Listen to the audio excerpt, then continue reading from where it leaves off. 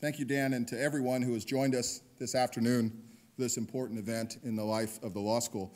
I want to express my enormous gratitude to Northwestern University and its leaders for this honor of university-wide chair and for the confidence shown in me by selecting me as the law school's new dean. Both honors are important and humbling to me. It makes me happy, very happy that they come at exactly the same time, for as Dan alluded to, they track the two principal dimensions of my professional life in the law. I've always cherished and worked hard on both aspects of my career. And when I measure success in my endeavors, such as they have been, it has been on both the dimension of a legal scholar and of a law school leader. So it makes it a special honor to be acknowledged on this occasion for both roles.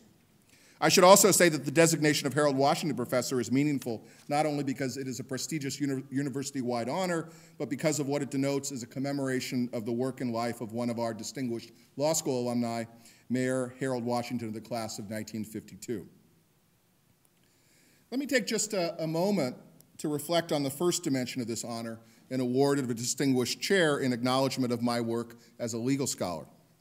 As to that work, I want to say thank you for the honor conferred on the basis of work already completed and urge you to also stay tuned for work yet to follow. I am not done yet with my scholarship.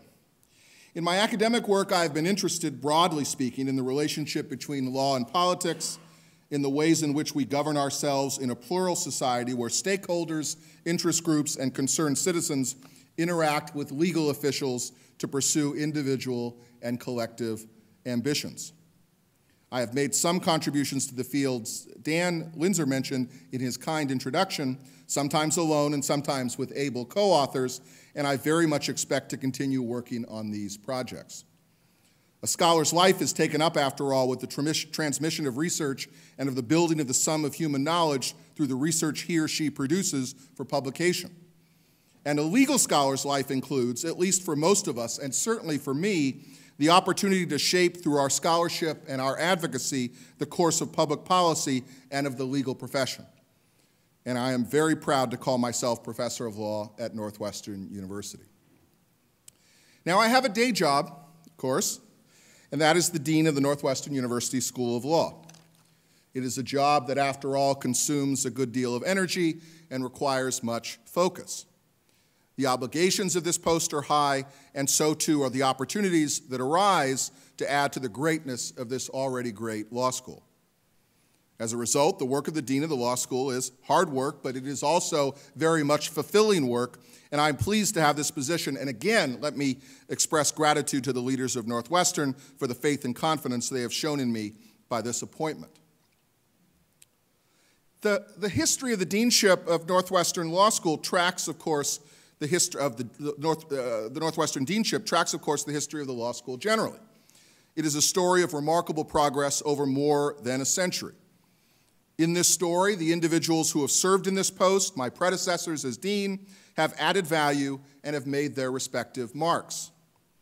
I'll say a few words about that history, but before I do that, I want to acknowledge and recognize the Northwestern law deans I have had the good fortune and opportunity to get to know. They are all friends of mine, and they have all contributed to the legacy of NU law in appreciable ways. My cherished colleagues David Ruder and Bob Bennett served ably as deans of this law school and advanced the objectives of the school with their own distinctive styles, leaving the law school stronger when they left the post than when they began. They are always helpful to me, happily not shy with their opinions, deeply invested in the institution, and sources of inspiration to me as I hope to build on their accomplishments. The same is very much true of my immediate predecessor and friend, David Van Zandt, whose contributions to the modern Northwestern Law School over a decade and a half were many. I had the pleasure of working with David in various legal education venues, and I can tell you, as an interested observer of Northwestern during the contemporary era, no law school in America had a more forceful, creative advocate. If I close my eyes for a moment, I can picture David clad in his ubiquitous purple, describing to his fellow deans one or another Northwestern initiative, usually with the benefit of a PowerPoint slide, each with an annoying big N in the bottom corner. He too left Northwestern Law School stronger as a, as a result of his efforts and energies, and I am grateful for his contributions and his continuing wise counsel.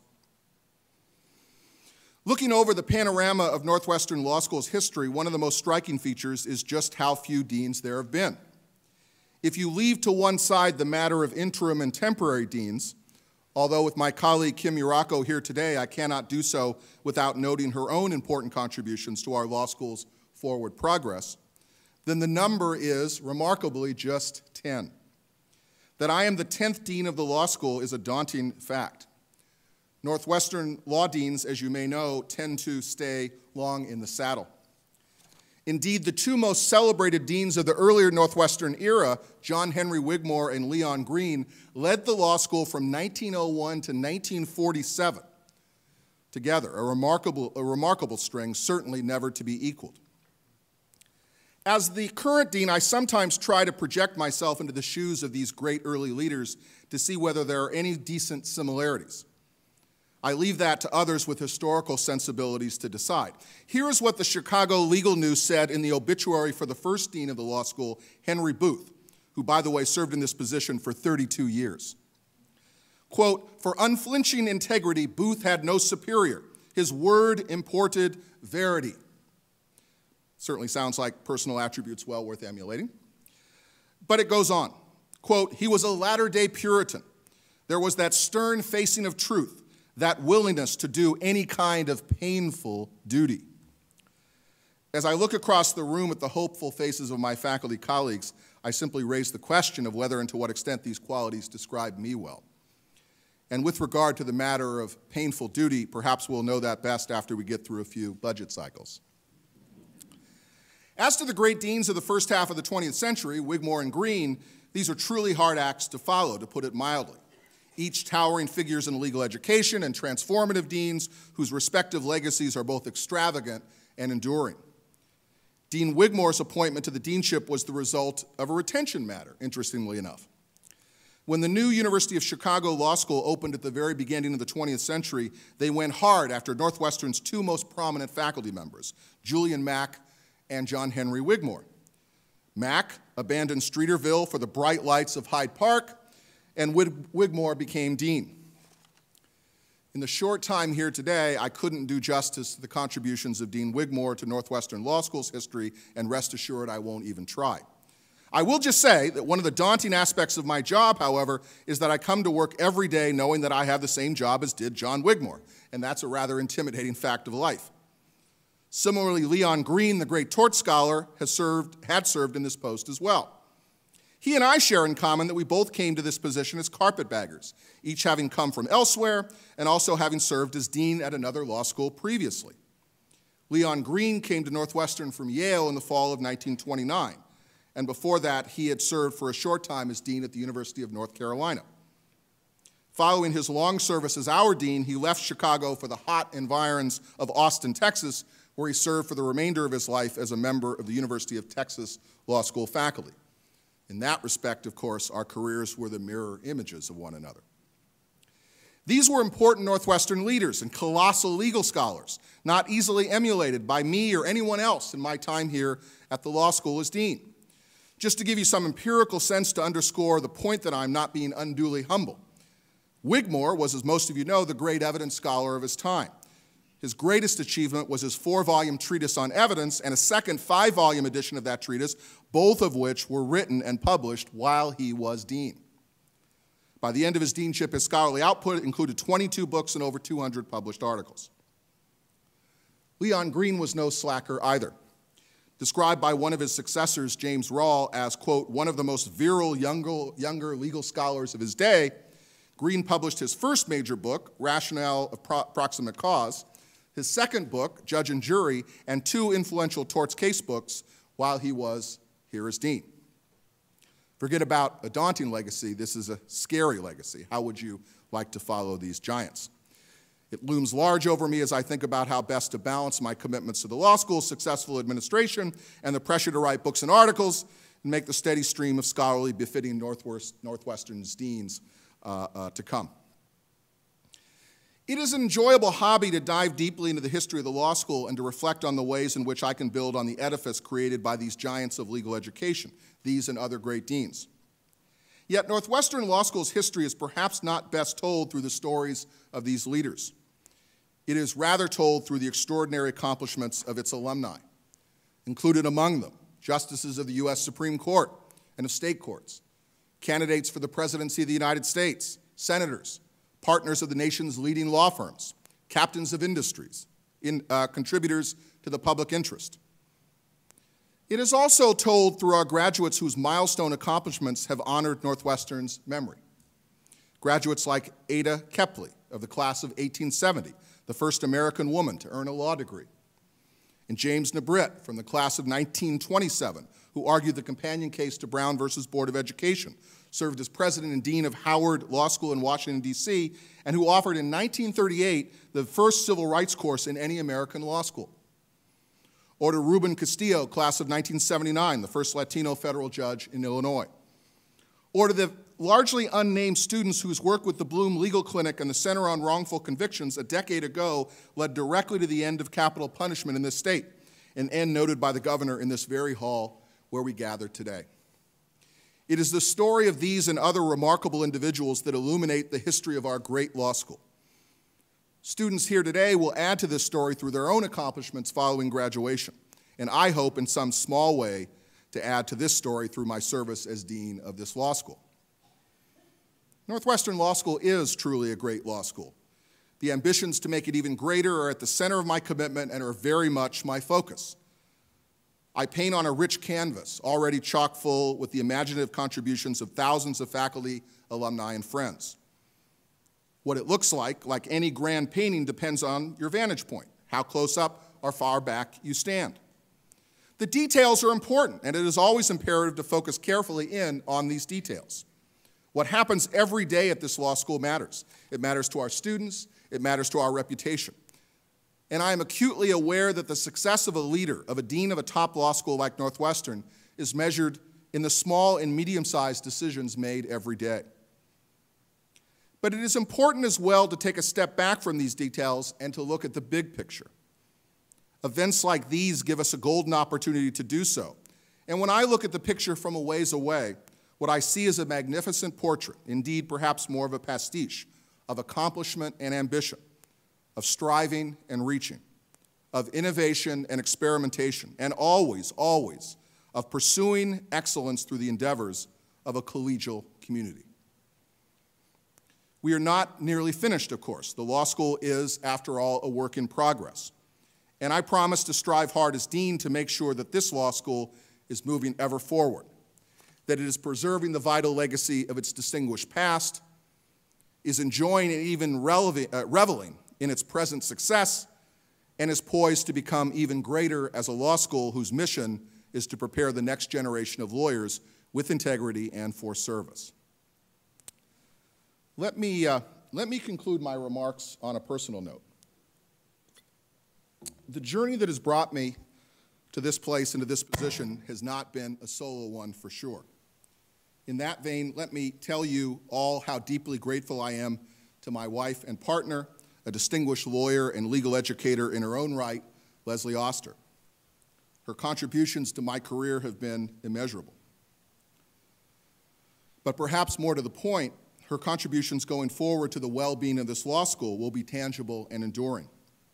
As many alumni and prospective students will testify, she has already had a meaningful impact.